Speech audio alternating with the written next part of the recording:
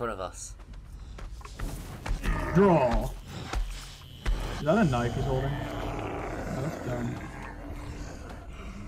I give you props. You look badass, but don't touch me. Shit. Can I not open that?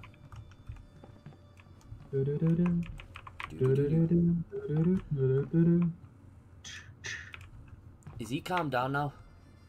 Hopefully.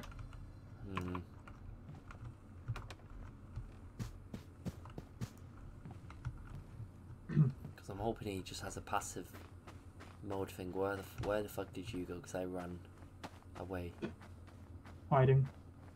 hiding. Yeah. What?